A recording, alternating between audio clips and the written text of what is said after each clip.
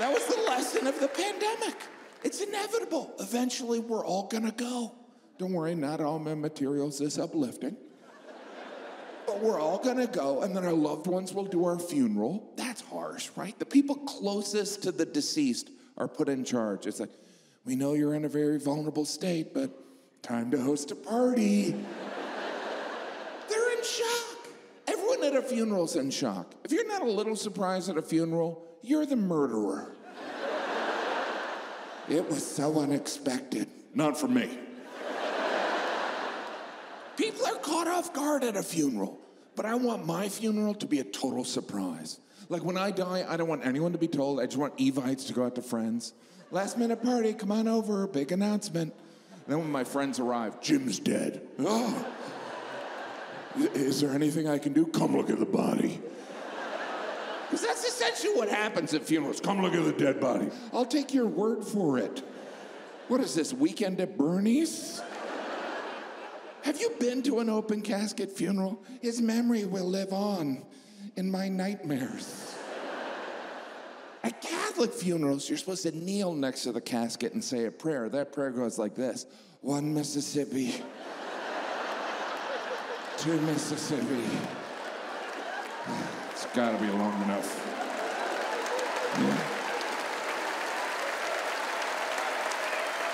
Because the body looks weird in the casket. It does. They're, they're always overdressed. We put men in business suits. What do they have, an interview? Dress for the afterlife you want. People usually say, he looks like he's resting, or he passed out at an office Christmas party. Why is he wearing a tie? If you want me to rest in peace, bury me in pajamas. In preparation for the funeral, we put makeup on the dead body. When did Grandpa start wearing eyeliner? There's special funeral makeup. You never see commercials for that makeup. Maybe that corpse is still alive, or maybe it's Maybelline. For when you want to look drop dead gorgeous. That's someone's job to put makeup on a dead person's face. That couldn't have been the goal. Somehow the dream of, I want to work in fashion became, I'll put blush on the corpse. It is an art form. It's impressive. I'm surprised it's not a reality show. Pimp My Corpse. I have my own idea for a reality show. I think it's a winner. Let me pitch it to you. My show would open with two identical bodies lying next to each other. One of the bodies would be dead, the other cake. The show's called Dead or Cake. And then a loved one would be given a cake knife. Susie loved her grandma, but how well did she know her? Will she cut on the delicious red velvet cake or her nana? Let's find out. Susie, you may cut the. Oh, Susie. This is usually the point when people ask, well, when's he gonna do the food jokes? I thought he was gonna. Dead or cake is a food joke. Funerals are weird. Open casket, closed casket. I want to be sitting up in my casket. You know, just sitting there. Eyes open. I'd like to be positioned near the doorway so when people enter the room, they're like, what the hell? I'd rig it so occasionally my hand would go up.